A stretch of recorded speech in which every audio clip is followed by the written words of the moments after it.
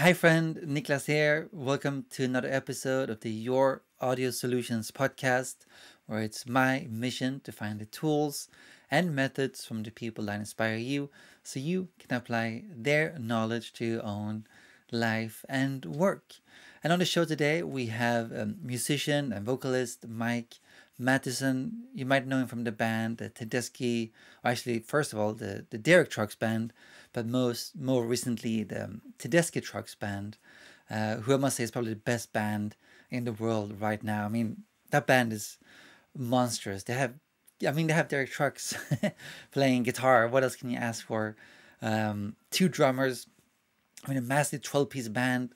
Uh, Susan Tedeschi, is such a great vocalist uh, too, and obviously Mike um, plays with them, sings with them, backing vocals and some lead vocals too. I guess he also plays guitar sometimes, I believe.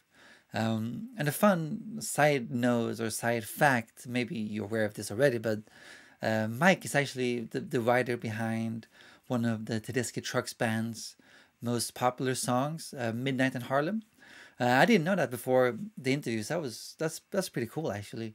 Um, and they actually swap songs a bit, which I find pretty cool. Um, so I believe Derek Trucks uh, has has um, have some writing credits on on Mike's um, new solo album. He wrote some car. Uh, he wrote a piece of music, and then then Mike used it for his own solo album, which I found pretty cool. So they're sort of swapping uh, songs around. It was a huge pleasure talking to Mike, and I hope you're gonna enjoy this conversation too. Uh, just a quick side note about the, the recording. If you're watching this video, the Skype recorder was a bit fucked up at this point, uh, so the quality is a bit low. Uh, but it sounds good. You can see what's going on. Uh, but just a quick side note about that, if you're wondering why the quality is a bit low. And also, before we get into uh, this interview, I do want to take this opportunity to acknowledge and pay respect to the um, late Al Schmitt. Uh, I believe he passed away last week. And if you're not familiar with uh, Al Schmitt or who he was, he's he's probably the, the, the, the biggest sound engineer we had. I mean, he had 21 Grammy Awards. He, he even has, uh, I believe he's the only sound engineer who has a star on the Hollywood Walk of Fame. Uh, so, a huge figure in the music business, in the music community for sound engineers like myself. If you're a sound engineer, a recording and mixing engineer, I'm sure you, you know who Al Schmitt was. I mean, yeah, he was the biggest we had, and I think um, we owe him a lot um, of where the industry is, how we record, how we mix, and and all that sort of stuff. Uh, I mean, he worked with with with with artists like just read a, a list I made. He worked with artists like Frank Sinatra, Neil Young, Steely Dan, Toto, Quincy Jones, Natalie Cole, Sam Cooke, and the list goes on and on. I mean, he was a huge, huge figure in the music business, and yeah, I just want to take this opportunity to pay my respect. And uh, sad to see him go. I'm glad he lived as long as he did. I hope he didn't pass away of any illness. I don't know how he passed away, but um, yeah, sad to see him go. We owe him a lot, so just want to say thank you, Al Schmitt, for all the stuff you did. Um, go listen to some of his recordings; they were great. Uh, but yeah, thank you, Al Schmitt. All right. Um, on a happier note, let's get into the interview with Mike Mattison, and I hope you're gonna enjoy this conversation as much as I did. So please enjoy.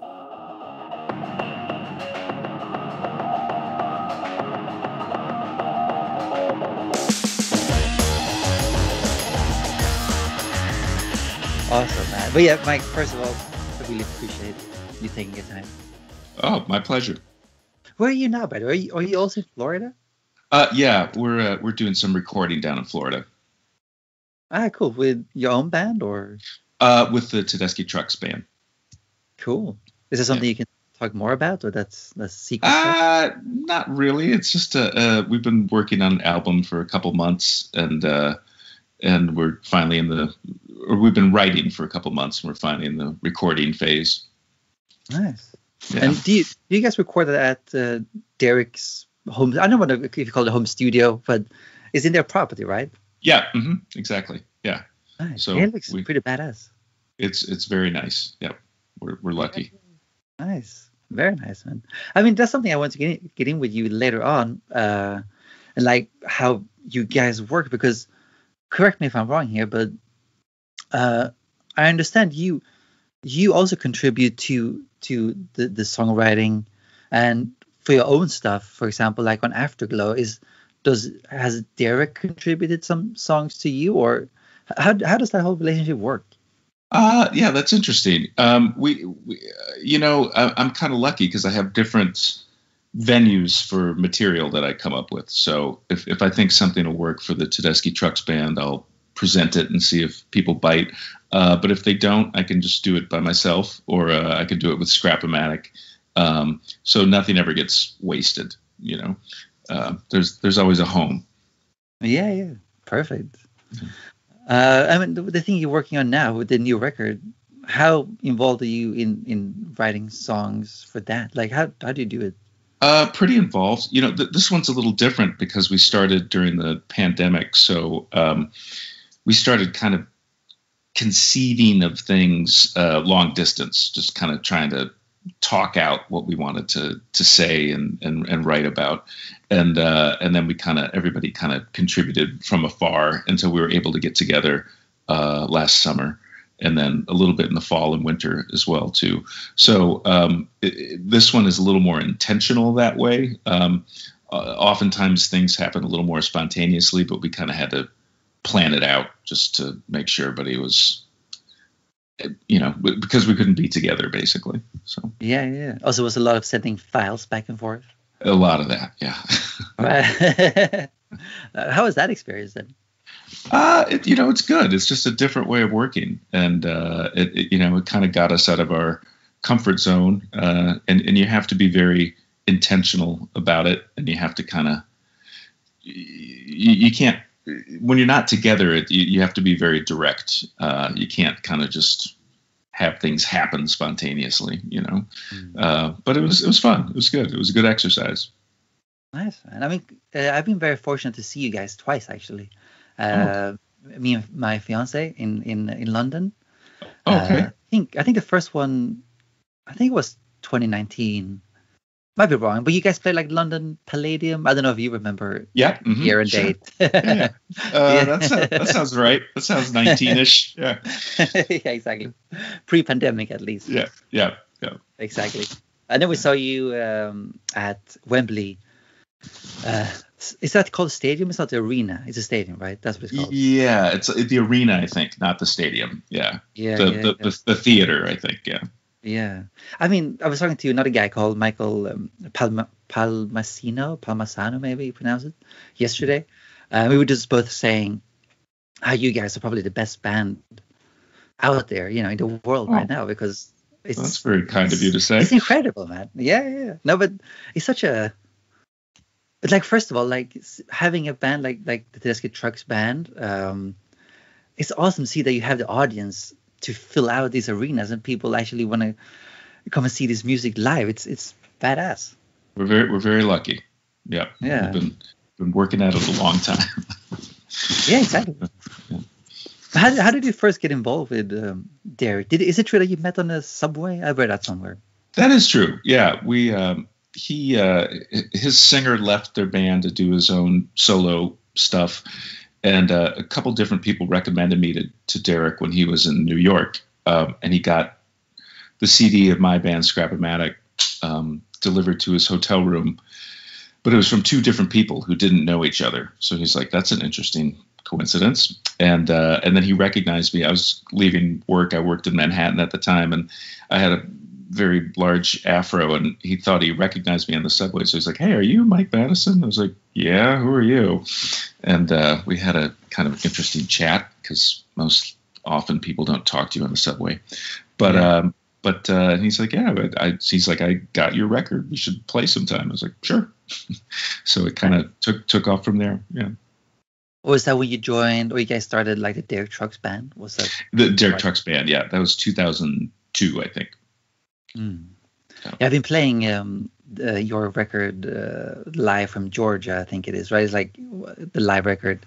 Georgia uh, Theater, yeah. Yeah, yeah. I mean, that's that's a again kick-ass record. I mean, you guys are on fire as always. Oh, thank you. That was that was fun. That was a that was a great iteration of the band. There was uh, when Kofi was still with us and Rico Scott and Todd Smallie. Yeah, they were badasses. Who was Rico? Bam? And I, am I'm familiar with with um, uh, Kofi. Did he passed away? Didn't he? Kofi passed away a couple of years ago. Yeah, and uh, Rico did too. Actually, sadly, uh, last year. But uh, he was the drummer for the Derek Trucks band for many many years. Yeah, Rico Scott, amazing drummer. Right. Yeah. right. I need to check check him out more properly then. Yeah. Some missed that somehow. Right. Um, but I saw it as a kind of um, uh, I don't know if it uh, if it's a quote, but I heard you talk about like writing melodies and stuff, and um, I believe it was you, you, attributed this to Kofi. It was like he was really good at uh, writing melodies. Like you said, like it feels like you've heard it before, but yeah. you can't really place it. Yeah. yeah. Yeah, he was good like that. He could just come up with classic melodies. I think part of it was that he was just so steeped in uh, all different kinds of music. I mean, he was classically trained flautist, um, and so he knew the whole classical canon rep- repertoire, uh, but he was also knew everything about jazz, and he, he, just he just he knew everything, so he could just kind of come up with these things. It, it, it was a unique talent. He was he was especially good at what he did. nice. But what's your approach to to writing melodies for your own, or like any music? Doesn't matter if it's your own or for the the Tedeschi Trucks band. Uh, you know, I don't know. I just it, things just kind of occur to me. I'm, I'm not real disciplined. Like I don't sit down and try to make things. I just if, if something comes to me, I'll follow up and, and stick with it and, and, until I finish it. But I'm, I'm not real. I'm not a real workhorse, you know. uh, but and and then like I say, I'm lucky because it, I, I, can kind of if I if I craft anything, it can go anywhere. So if it doesn't go to the Tedeschi Trucks band, it can go to Scrapomatic, or I can just do it myself. So so it's it's a it's a luxurious space to be in. yeah, definitely. Yeah. But so you have also the Tedeschi Trucks band, Scrapomatic, but then you then you have your solo stuff too, or is that also? I lost you there for a second. I am oh, sorry. I, uh, now you're back. Yeah, yeah, yeah. Just um, say it again. So, yeah, you have you're in the Tedeschi Trucks band. You have mm-hmm. Scrapomatic, but then you also have your own solo band. Is that the three projects you you balance, or? Yeah, those those are the three basically. And really, when I do my solo stuff, it's just the Scrapomatic guys play on it. Um, but uh, you know, I just it, it tends to be just my material that didn't quite make it to that space, Scrapomatic space, I guess. So nice. yeah. Yeah, because I was listening to your Afterglow record, and that's your solo record, and that's mm-hmm. a terrific record, man. I really uh, enjoyed it. Oh, thank you, thanks, thank you. Yeah, yeah. We, we were lucky. We got a Jason Kingsland is a is a great engineer and, and mixer, and he he uh, is really responsible for kind of the the sonic the, the aural quality of that. He he did a great job. Right, nice. And so I mean, again, that's was Afterglow uh, like a song that Derek helped you you write in, in that case? And uh, that's interesting. Yeah, he that, that he kind of had these chords that he was playing one day, and I kind of came up with a, a the chorus over it. I don't know, but I've been told New York City's mighty cold, and um, and then we just didn't finish it up. It just kind of didn't go anywhere, and uh, it but it stuck with me, so I just kind of took it myself and and finished it off. Um, and he was, you know, nice enough to give me permission to use it. Uh, yeah. But yeah, I mean that's that's how stuff happens. It's just kind of uh, happy accidents oftentimes. Yeah, perfect. I mean, and then you wrote Midnight, Midnight in Harlem. That's your song, right? Yes. Mm-hmm. Yep. Yep. Right. And that was that was written way back in the um, in the Derek Trucks Band days, like early early 2000s, and uh, we actually pl- toyed with it a couple times, and it just kind of never happened. And then when uh, Derek and Susan combined bands, we kind of gave it another shot, um, and it seemed to work. So you know, so, songs kind of take on a life of their own sometimes. Yeah, definitely. Mm-hmm. But how was the experience when you guys at the Derek Trucks Band decided to go, oh, let's join forces and create this monstrous band? uh, it was interesting because um, you know, there are a lot of personalities, and the, and they, we, uh, you know, it, it, wasn't a super smooth transition, uh, but it, it, took us a while to to, to kind of get up and and moving. But uh, but everybody was so good, so talented. It, it just kind of it, it, coalesced, you know. But um, yeah, it was it was an interesting time, and and you know I don't think they really know what it was going to be like either. Uh, getting you know 11, 12 people on stage, like it takes takes time to get to get momentum and and to, yeah. to get comfortable. But yeah how is it even being in a tour with with that band? Because I mean, how big is the crew? You, I mean, you must have trucks of all the like B. What's it called? The, the organ B. What's it, the organ called again? B. B B three. Yeah, yeah, exactly. I mean, all that. Yeah, there's there's a there's a truck, and usually there's about two buses, and um, you know, like I said, there's twelve in the band, and there's probably seven or eight crew people. So it's a big, it's an unwieldy crowd, but we, but we get it done. Thank, thankfully, everybody's like humane. we all we all get along, so we, we do have yeah. a good time. Yeah, it's it's awesome. But how does it work when when like when you're writing this new album? Obviously, because you have so many instruments or a lot of people, like the two drummers, for example.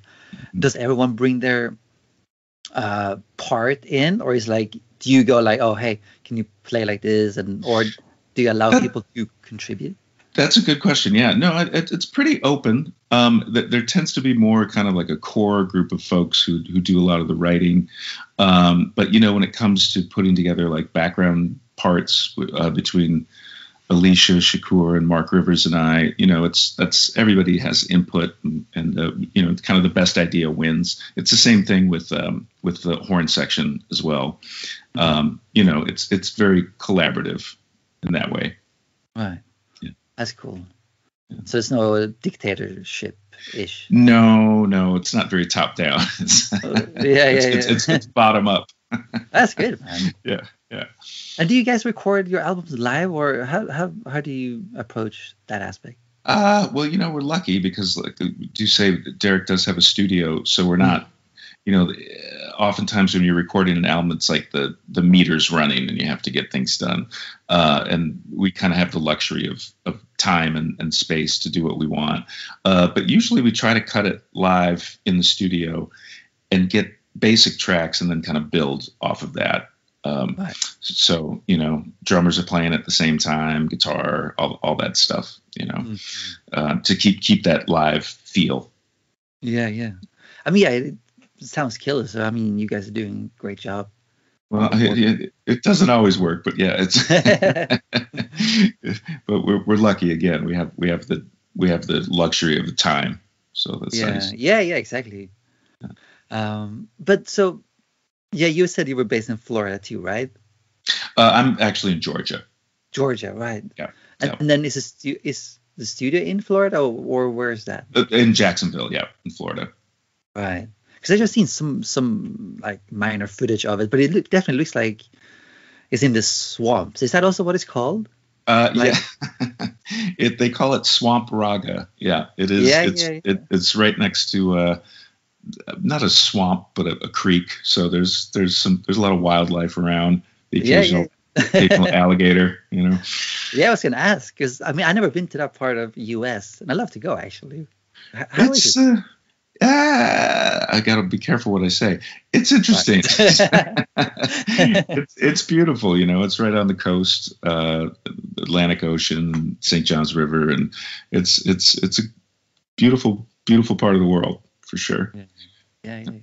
I can imagine. I mean, have you seen? You said you've seen some alligators. Anything else? Oh yeah, there's alligators down there, and snapping turtles, and manatees, and there's all kinds of stuff. Yeah. What's a snapping turtle? Are they poisonous? Uh, no, but they they you don't want to get bit by one. They'll probably take off your hand. Shit. yeah. Wow.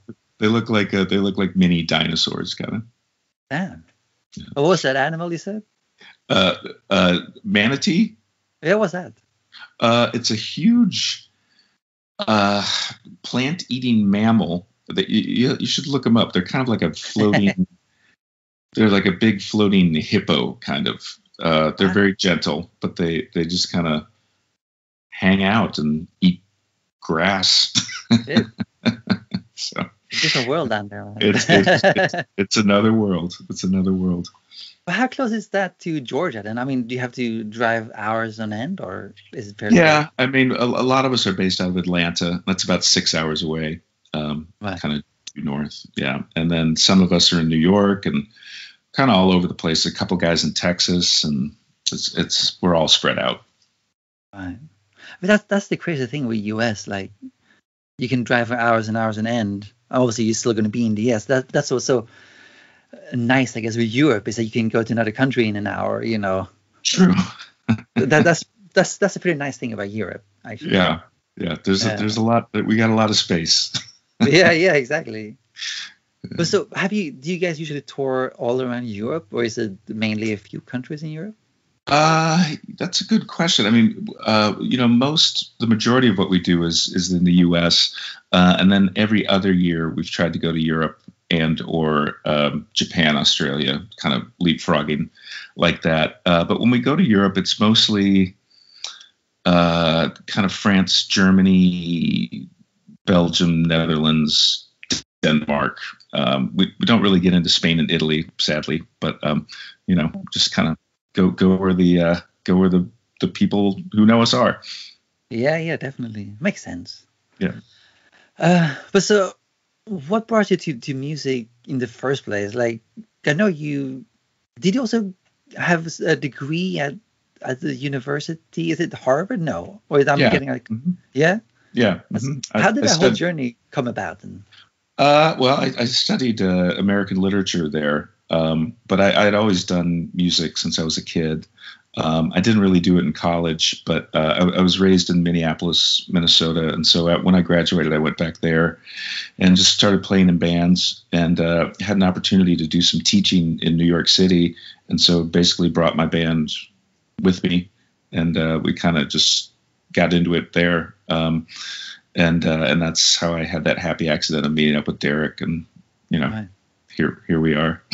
was that back in the 90s or before that? Yeah, mid mid nineties. Yeah. yeah. Right. That's cool, man. Uh, so how? I mean, what got you into music in the first place? I mean, was it your, your did your parents always play music at home, or was something you saw that just like yeah, my my my mother was pretty musical. Um, she played piano and, and sang in in a choir, um, but uh, for me, it was just something I just kind of did, and, and she she was smart enough to kind of catch on that I had a knack, and so she started me with piano lessons, and I, I ended up playing string bass uh, in, in a chamber group for many years. Uh, and she, she always tells a story about how I was singing along to a Kentucky Fried Chicken commercial when I was about three years old, but I was singing a harmony that wasn't in the song, and she's like, "That's interesting." Um, and so she was she was very good about enabling, you know, my interest in music. Mm, cool. So what was that Kentucky Fried Chicken commercial? I can't I can't remember.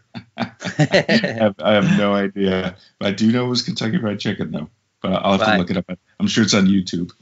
yeah, yeah, yeah, definitely. But so, how, how's Minnesota like to grow up? Then that's that's where you grew up, right?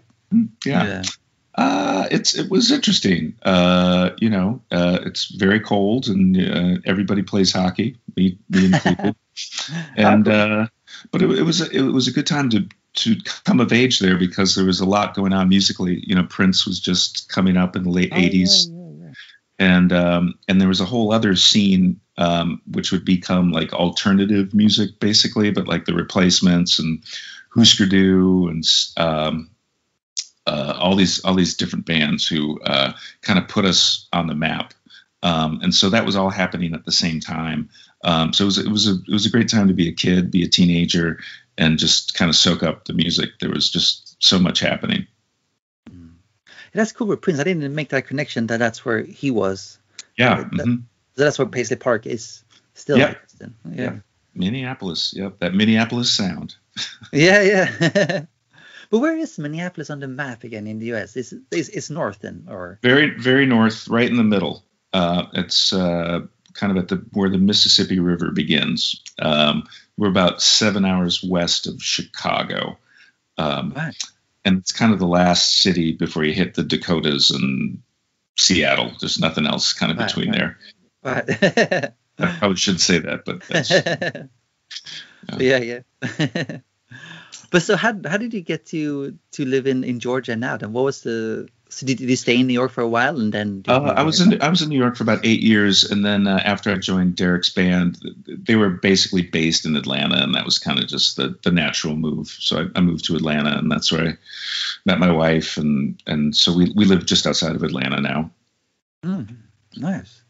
I mean, yeah, that's that's supposed to be a great city, or whatever you want to call it. No, it's not a town, but yeah, city, right? Yeah, no, it's a, it's a big city. It's it's interesting. It's a it's an interesting place. You know, uh, growing up in the North, basically, I had never, I didn't have much experience with the American South, and so it's been interesting to live in in the South. It's a it's a fascinating part of the country. It's it's it's it's very different. Yeah, I mean, in which way have you experienced experienced it being different? Uh, I think it's just musical. Musically, it's it's different. I mean, there uh, there's a different kind of understanding and appreciation of music in the American South than maybe in the North. And I mean, that's blanket generalization, but but I think it's true. Um, there's just a uh, just more of a connection, I think, musically than anything. Um, and music is just kind of in the air, you know. Oh, yeah. Um, yeah, and then you know politically, it's a whole other thing. It's very uh, yeah. cons- conservative in a way, but then when you go out and play music, it is uh, the the crowds really get it and they really appreciate it. They are not very conservative in their appreciation, so uh, it's it's an interesting uh, interesting paradox.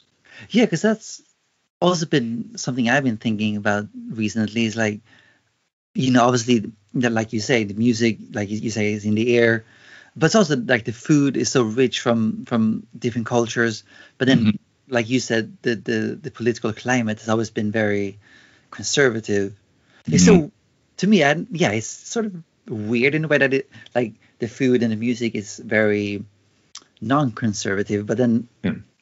it's yeah i don't really yeah, they must make a sort of funny mixture i guess it's there's there's a lot of paradoxes in the american south yeah if, if you dig into William Faulkner was pretty much right about everything.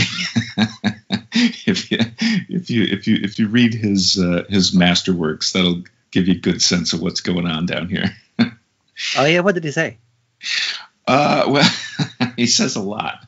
uh, it's just, it, I guess, I guess what I'm trying to say is it, what and what he writes about quite a bit is there are just these these paradoxes and these these beautiful things and these very negative things, and uh, they kind of ex- coexist. And it's a it's a there's an odd tension, uh, and uh, it is, is not it hasn't gone away. it's still here. Right. Right. And I might be completely wrong now, but obviously with George Floyd, did that take place in Georgia? Am I completely wrong here? That was in Minneapolis, actually. That was uh, that was, I know that was about Georgia. Yeah, that no, that was the neighborhood I grew up in, actually, where they wow.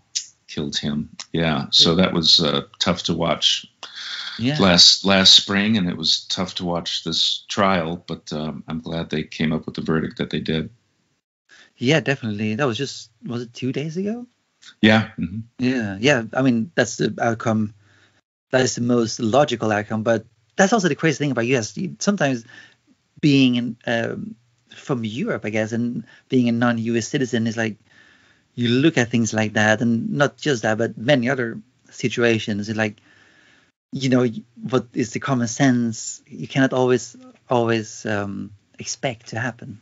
No, America does is you can't rely on common sense here. that would be that would be a grave mistake. but uh, but I'm glad it, it worked out like it did. Uh, I would I would just have hated to see my, my hometown burned down again. Um, and I think that's what would have happened if they found him not guilty. So uh, yeah. it was the it was the right thing to do. Yeah. Yeah, yeah, definitely. I'm glad that was the outcome. Yeah. Um, that's, yeah, it's crazy, man. It's a U.S. is a fascinating place, but yeah, also yeah. I mean, I don't know really how to describe U.S. Maybe I need to read what the, that Faulkner guy said about the South. Maybe that encapsulates the whole country. I think it, I think it's true. We're uh, we're an interesting place. There's a, there's a lot of um, beauty and and and energy and mm. You know things like that. But then we're also very, uh, I guess the word would be immature. We're still kind of a, a culture that's uh, needs to come to grips with itself, and we're not we're not great. We're not the most self-reflective nation on the planet.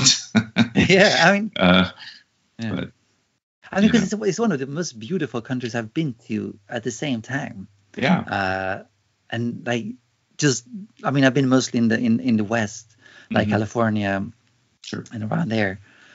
And when you see it, it's like stunning, you know, like it's Yeah. it's completely stunning, stunning. Then, yeah, it's it's so fascinating. Like I like to to go back more and explore the country even deeper because Oh yeah, Yeah. the na- the natural beauty is it's it's unreal. Yeah, yeah, we're we're we're very lucky. We'll just we'll see if we can hang on to it. yeah, yeah, yeah, exactly. You never know, I guess. But what- what's your favorite place in, in the US? Like, what's the most beautiful place you, you've seen?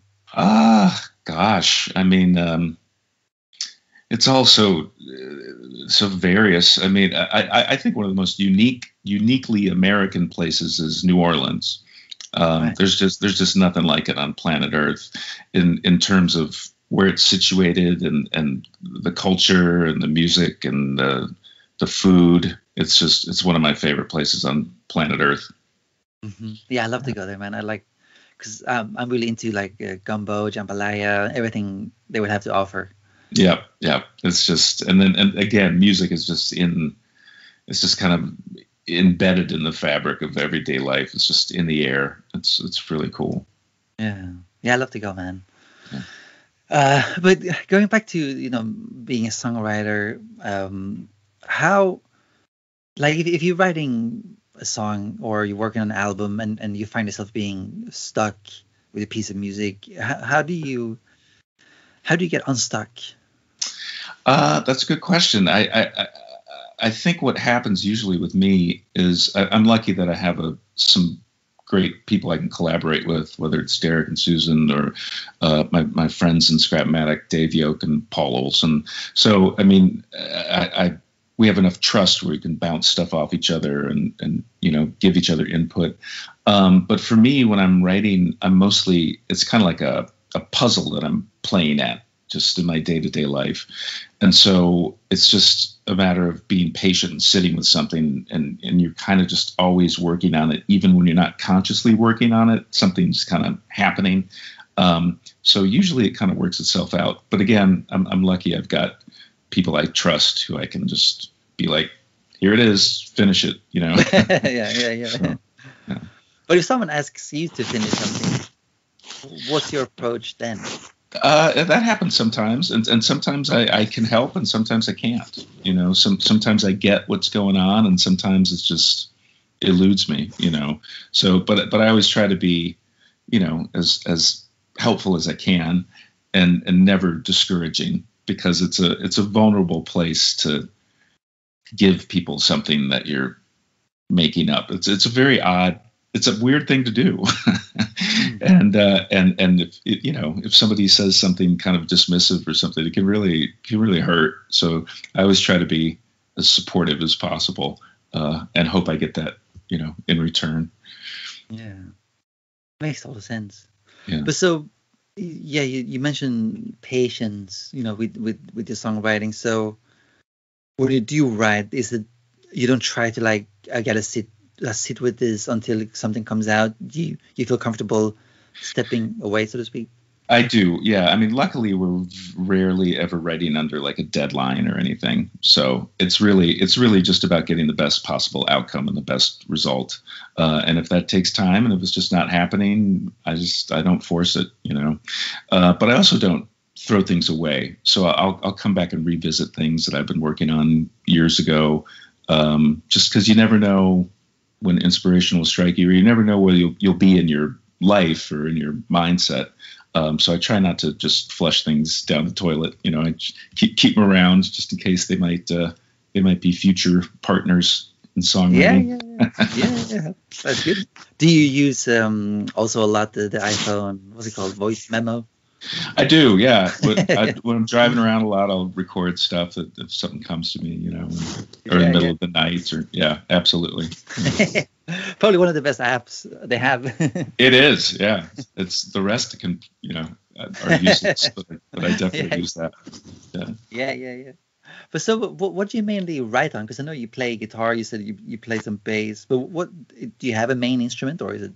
Uh, it's usually guitar uh, because I'm not very good at it, um, and so it's it's a good tool to kind of get get out of my head um, because I'm I don't have a lot of facility with it, if, if that makes sense. Uh, kind of gets me out of my comfort zone. Occasionally I'll write on a piano, but but usually it's it's guitar. Right. What got you into to picking the guitar as as an instrument? Having, I mean, was it because you were into bass or? Uh, yeah, you know, I, I didn't. I mean, I always messed around with guitar a little bit, but I, I didn't really have one. Uh, Derek actually gave me a guitar about 16 or 17 years ago, and um, he ended up going on tour with um, Eric Clapton, and um, and so we were kind of on hiatus for about a year, and I was like, well, I guess I should learn how to use this thing. so that was that was kind of my guitar year. I kind of found my way around it and uh, and realized I could use it as a as a tool to do some writing too. So I'm grateful for that. Yeah, yeah, perfect, man. But so was it like when you played in the Derek Trucks band? Was it mainly uh, Derek bringing you pieces of music that you wrote vocals to, or was it? It, it, well, yeah, mostly. Uh, Kofi did a lot of the writing. Um, and then a lot of material would come from just messing around during sound checks and just jamming um, yeah, and, cool. and just remembering stuff, you know, just kind of group improvisation. Um, but yeah, that that was mostly how it. And then I would I I contributed quite a few lyrics and stuff like that. Right, right, right. Yeah, because you mentioned you know uh, improvisation and and and uh, jamming and stuff. So when I've seen you guys and also just hearing your records and stuff, the whole band is in is so in tune with with what's going on. Like, is is that is that um, rehearsed? I don't think it's rehearsed before, but are there any obvious cues that are decided beforehand, or is it just that everyone uh, is just so in tune with what's going on? Uh, well, you know, because it is kind of improvisatory or improvisation based, you just you have to be paying attention. Like you have to be in the moment. Um, and and then uh, we don't really have a lot of planned out things, but over the years you kind of pick up on on Derek's body language, so you kind of know oh, yeah? what's going on. Um, but yeah, you got to have a lot of eye contact, and and you can't just you can't just start daydreaming because you never know what's going to happen. You got to be you got to be in it. Yeah. Yeah, that is that, that, that's something you guys do extremely well. It's oh, really, cool. So what's I mean, what's uh, Derek's body language? Because I mean, obviously he, he's that's also the very um, uh, fascinating thing about Derek is he's he's very calm person on stage, but everything is happening through the guitar. So mm-hmm. being an audience member, I've never seen what's his what's the cues he's looking for. Uh, just looking back, or yeah, it's pretty subtle.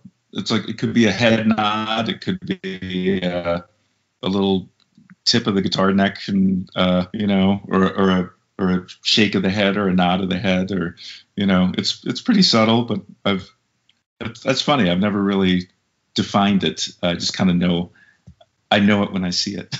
Yeah yeah. That's the best way i guess. Yeah. um, but something um, i've been hearing a lot about recently in my recent interviews this week something that's come up a lot is the the importance of having your own voice like finding your own voice. Um, whether that's as a as a band as you guys or maybe your own voice you know you being a singer and stuff um, yeah. How have you developed that aspect of your of your let's say singer voice in this case just your uh, expression i guess i should yeah. instead well, th- that's a good question and i i, I um you know, I, th- I, think anybody who, whether they're a singer or play an instrument, you you you have to find your own voice, and um, I think it begins with with mimicry. And and I was lucky after uh, in college, I really took an interest in jazz, and um, and jazz singing, and uh, I I lived in uh, Budapest, Hungary for a year, playing in a jazz oh, cool. band, and I had to just learn literally hundreds of jazz standards, and just kind of figure out the, the, cool part about jazz singing is you're you're interpreting these songs. So um, it, it, wasn't necessarily the improvisatory stuff, but it was just crooning, you know. But uh, but I think in in figuring out how to say what I wanted to say within the lyrics of these classic songs was a, was a good way of figuring out how I operated and how my voice operated. Um, and so that was a good that was a good school, um, a, a, good education in in figuring out how to how to operate in this territory that's been so well trod. Uh, but but how do you bring something new to it? Um, so that was a good that was a good challenge.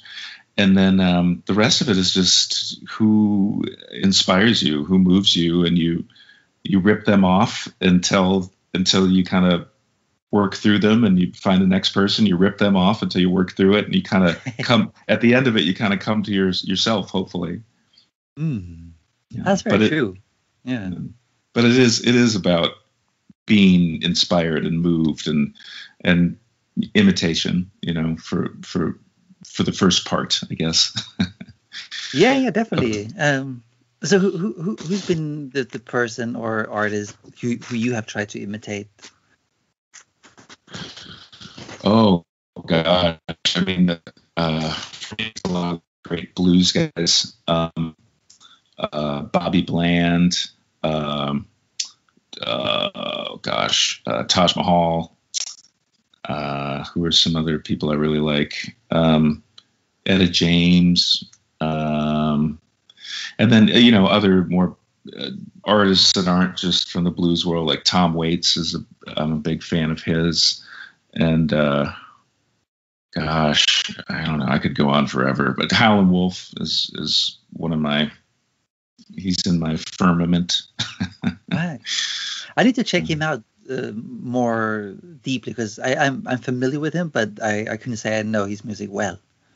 He uh, he has one of the most unique voices in in American music. I think um, it's just there's nothing like it. Yeah. Which record do you recommend checking out first of his? Uh, I just get the real folk blues. It's the, put out by Chess. It's kind of kind of his greatest hits. Um, but yeah, you, it's so distinctive. There's just there's nothing like it on planet Earth. It's uh, he's he's one for the ages. Cool. I am gonna check that out definitely. Yeah. Um, so how how was um, living in Budapest? When, when, when was that then? In the eighties or nineties? Uh, early nineties. Yeah. What was the vibe then? Uh, I mean, that was a, that's so close to Russia too. It was it was interesting because the Russians had just pulled out, um, and so it was not like it is today. It was very battered, and you know, there's still machine gun strafings in the buildings from World War II and from the 56 revolution. And it was just kind of wide open. It was just a, it was just a new world. And uh, I think even the Hungarians didn't quite know what to do. Like it was just such a strange time. Uh, but we're lucky because there were a lot of people who were very hungry for Western culture and Western music and stuff like that. So they were great, great audience for, for playing jazz and, and American music. Nice. Didn't Frank Zappa become like some sort of an ambassador to?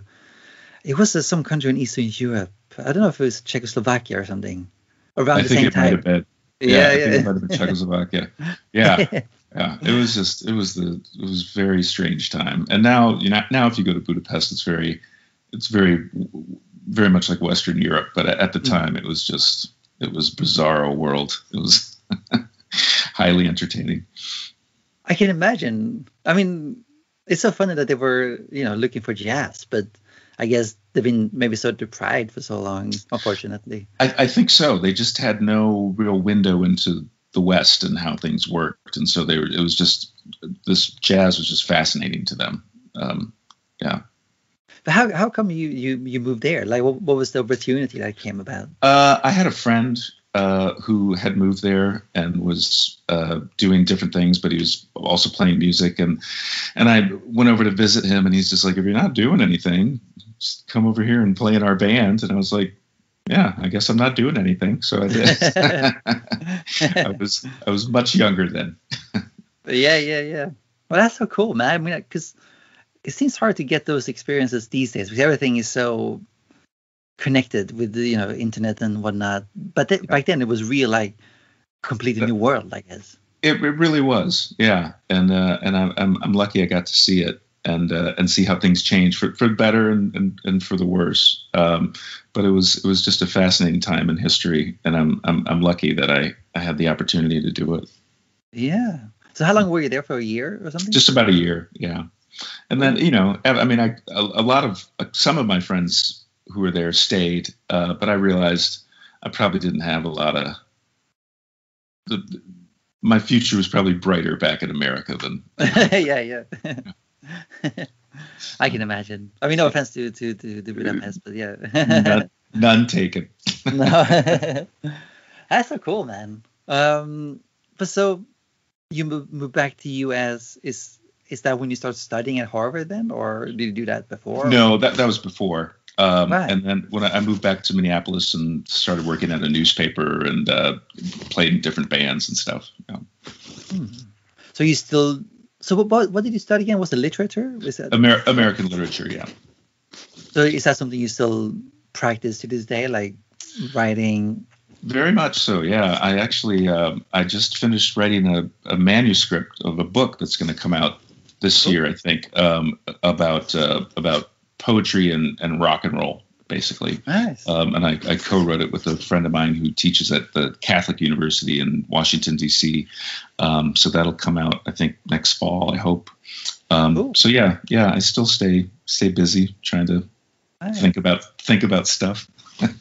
But so how, how does um like being a writer and also a musician and write music, how how does um because I mean I don't have any experience writing books or anything like that, but that feels like a uh, an art form where you need to be very disciplined, like something you need to just practice every day, like sit down to write. Is that how you work too, or Uh, well, again, I'm lucky that I have a collaborator right, to, right, right, to kind of kind of keep me on track and keep me on timeline. Um, if left to my own devices, I probably again wouldn't be very disciplined about it.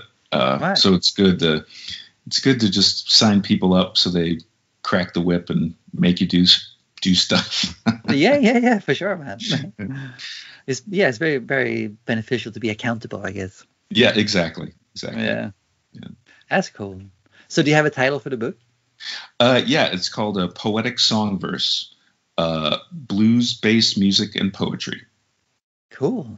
Yeah. Yeah. And, uh, Would that be out available worldwide or? It should, yeah. It'll be on University of Miss, um, Mississippi University Press, um, and I think it should come out this fall. I'm not sure. I should probably know that, but yeah. We will stay tuned, you know, for some updates. yes, yes, indeed, please. yeah, yeah. But awesome, Mike. So this year you have the book coming up. Uh, is the new record with Derek Trucks, uh, the Tedeschi Trucks band coming out too?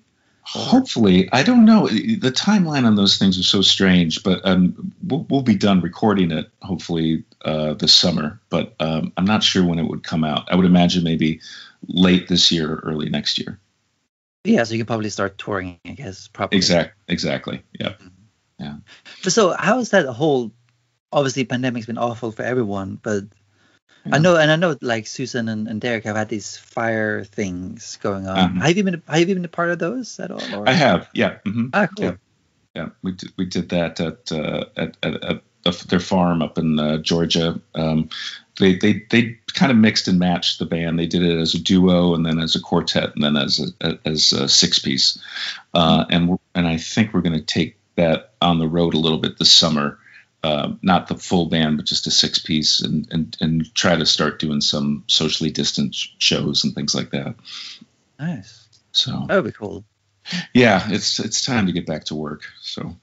Yeah, yeah. It must be. You guys must be itching to get out there. Yeah, I think everybody's a little stir crazy. Yeah. But yeah, I mean, I'm glad to see you guys. You guys are doing very well vaccinating people. Yeah, some states better than others, but uh, I think Right. most I think most of the band has finally gotten all their shots, so we'll be we'll be Ah, good to go. Yeah. Nice man. Well, it sounds exciting, and yeah, I look forward to seeing you guys back in the UK maybe next year or so. Yeah, I hope so. I hope so. Yeah, Yeah. that'd be great. Awesome, man. Well, yeah, thank you, Mike, again for taking your time. I really Oh, thank it. you. I, I appreciate it. It was fun talking to you. Awesome. Thank you, Mike, for coming on to the show. It was a real pleasure talking to you, and I hope you, the listener and watcher, enjoyed this conversation as well. Um, please, before you leave, hit subscribe, hit the like button. Uh, if listening on Apple uh, Podcast, Spotify, please subscribe there too. Feel free to leave a review as well. Um, but that's it for this week. Real pleasure having you on, uh, or real pleasure having you watching or listening, and real pleasure having Mike on. Um, but yeah, again, that's it for this week. I will see you guys next week again. So take care and see you soon.